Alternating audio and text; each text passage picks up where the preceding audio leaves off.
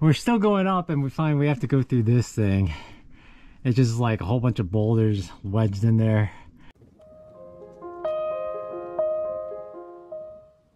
Good morning. We're still in Kent right now. It's day 145. We're here at the post office. Tina's mailing her tent back and I'm mailing, well, she's mailing my pot and stove back, which is Nikki's stove actually from uh, Front Royal area. But uh, yeah, so that's that's it for her tent. So we're stuck together in duplex for now. And here's her pack. She has a duplex in there right now. Um, I'm still carrying a footprint just because we're gonna try to get there together because she doesn't really know how to set up the duplex yet. Uh, we haven't gone through that. So we're gonna try to get to the campsite together. It's gonna be 17 miles, over 4,000 feet of gain. It's gonna be a tough day, I think. Um, so wish me luck. Uh, we're gonna try to hike together most of today just because first day. And then later on, once we get our thing going in the morning, she'll just sit at tent, at camp and just like have her coffee. But tomorrow morning, I'm gonna show her how I fold up my tent as well. So um, maybe tomorrow we'll hike together as well. But our plan right now is two nights out. Only two nights to go 55 miles into Great Barrington, Massachusetts.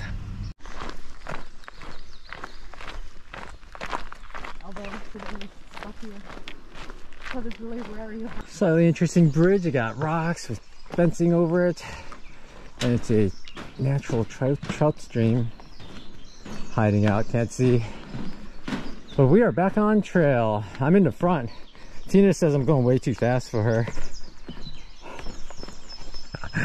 now, it was really flat in general and the flatter spots I go a little quicker because uh, the climbs, I'm super slow on the climb. So I gotta make up time where I can. That's just been my habit.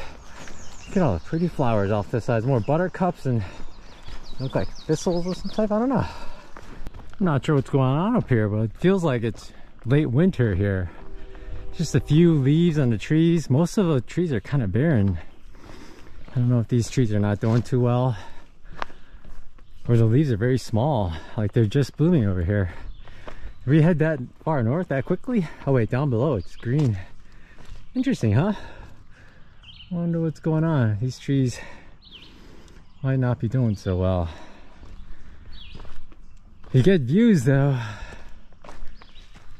Oh, I've been looking out for bears this time because we saw one in town yesterday.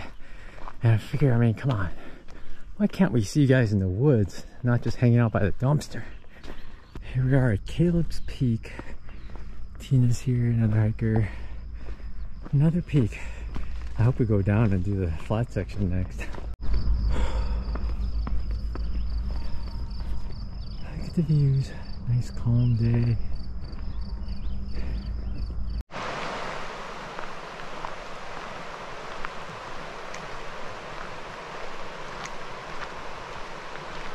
We're on this nice little straightaway.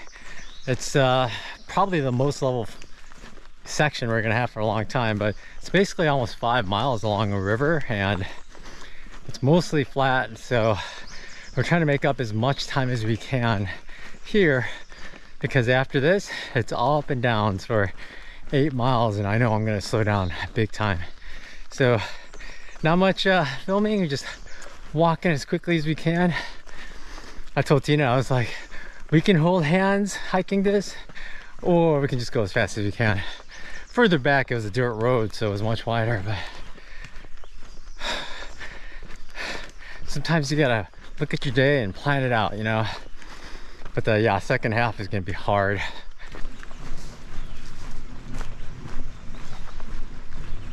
Any bears? We're just hiking along. We saw a porcupine walking along the trail and we got lucky he didn't climb a tree. He just like walked next to the trail parallel for a while and then walked back because someone was shooting off fireworks across the river. And now he's just kind of hanging out in the bush. It looked like he was trying to decide whether to climb a tree or not and they decided we're no threat and he just hung out. Pretty cool. First Super porcupine he's a little guy. Yeah, but I think now it wants to be left in peace. yeah we should go we just had a nice lunch here at this nice rock right along the river and Tina's packing up. she actually washed a bag of blueberries that we were eating here. And we were joking that if any hikers came by, we'd be like, yeah, we just picked them across the field over there. but uh, see if they, we can trick them. But now we're about to get going. Of course, I ate a lot of blueberries. We just got water at a pipe spring, which is just at the end of this level area. There's a river behind me. But that means we're going up. Tina just said it's 800 feet and 1.2 miles, which is pretty steep. All right, let's do this. And uh, Tina will probably catch me really soon. I don't know how much time she's gonna give me ahead, but she'll, she'll see me really soon. But let's go. Tina wants me to say Stachelschwein. Swine. Porcupine, we saw that. But I just, uh, ooh, I'm dark. Just wanted to say that uh, Tina's learned like I am dripping wet with sweat. My shirt is completely soaked. I mean, like really wet. Her shirt is dry. And she was saying, Oh, I thought about putting on my long sleeve shirt. I guess maybe the exertion I put out, I don't know. And she's still faster, shoots ahead. There's Tina there in her dry shirt. I guess Germans are cold-blooded. cold-blooded. Her arms are dry too, and I'm like super glistening. Yeah, but my forehead is a bit moist. Oh, a bit moist. Yeah. Oh, you scraped your knuckle. Oh yeah. Mm. I've been dripping sweat. I, I actually have to wipe it every now and then so I don't sweat on my camera. Oh, this breeze is so nice. It All is. right, shall we get going? Sure. Okay. We're at a nice viewpoint up here though. Show the view. Yeah, show the views here. The woods are a little browner than they used to be in like the peak of spring. I don't know if it's just the way the cycle goes. Mm, Looks like there's some more dead trees in Yeah, like we saw on the other mountaintop. Yeah, it looks like a lot of dead trees down below. Hmm. A lot of the mountain laurel's flowers have fallen down, but every once in a while you see bushes just build. It's like we're going north super fast or something. Super fast.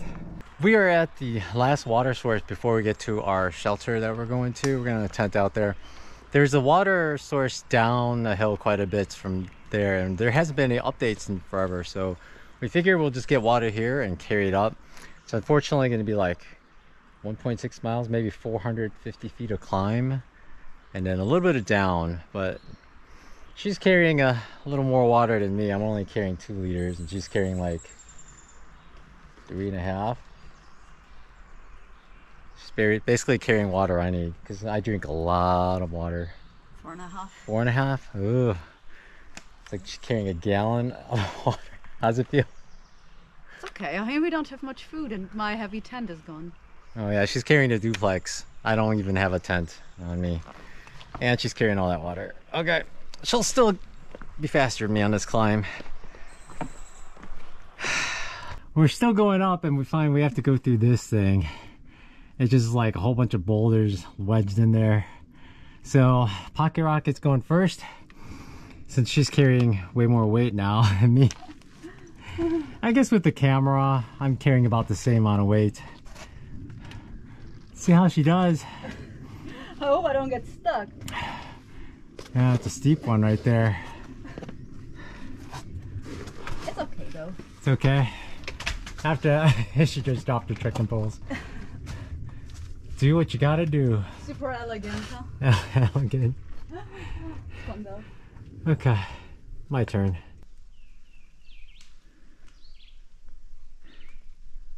Wave.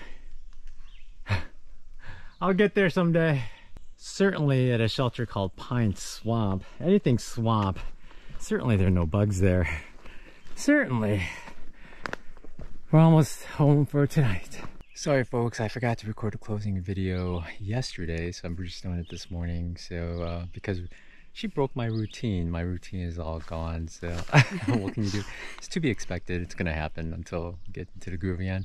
So thanks for watching everyone.